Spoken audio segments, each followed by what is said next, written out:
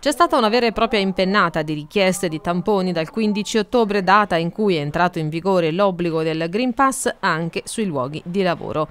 E così le farmacie, come la nostra emittente aveva anticipato, sono corse ai ripari. In particolare le comunali di Arezzo hanno triplicato gli sportelli per i tamponi rapidi. È stato infatti attivato alla farmacia Giotto e alla farmacia Mecenate il servizio per rispondere alle richieste da parte dei cittadini di sottoporsi al test, andando così ad integrare affidare la postazione già operativa alla farmacia Campo di Marte.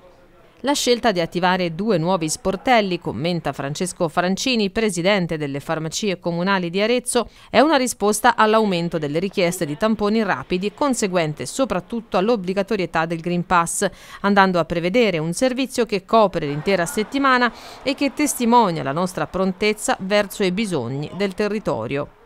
Presso la farmacia Giotto è stato allestito un gazebo frontale all'ingresso della stessa farmacia lungo Viale Giotto, mentre nei pressi della farmacia Mecenate è stato allestito un apposito spazio interno con accesso autonomo per evitare il contatto con la normale utenza della farmacia.